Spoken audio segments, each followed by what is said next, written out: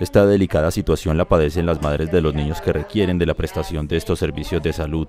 Diana Carolina Aguirre, madre de Samuel, dice estar muy preocupada por esta situación, ya que su hijo necesita urgentemente de medicinas, terapias y consultas. En el momento no hay servicio de urgencias como tal para los niños con las enfermedades huérfanas, ya que solamente hay urgencias en el Hospital Tomás Uribe, donde en mi caso particular me ha pasado que muchas veces lo he llevado y me dicen de que, no, que me dirija a Cali porque ellos no tienen los especialistas necesarios en el momento de guarda para atender a mi hijo. Es casi que una problemática muy grave porque nosotras a diario nos vemos afectadas con diferentes urgencias que los niños presentan en cualquier instante.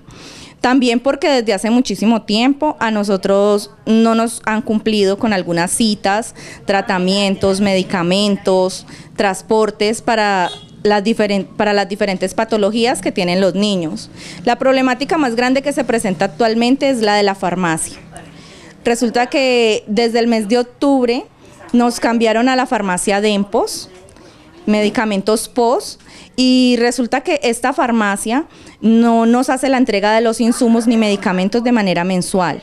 Ellos casi siempre van colgados en uno o dos meses, en muchas ocasiones le han contestado a las mamitas que no, definitivamente no les van a entregar el medicamento. Sin embargo, ya se han adelantado reuniones con gerente y directivas de la EPS a la que están afiliados los niños para tratar de solucionar lo más pronto esta situación. Eh, estuvimos en conversaciones con el señor Germán Bastidas, que es el director regional de Comeva EPS, con el cual llegamos a un arreglo en el que él nos pide que le demos una semana de plazo para él gestionar lo que son medicamentos, tratamientos y todo aquello pues que nos aqueja en el momento.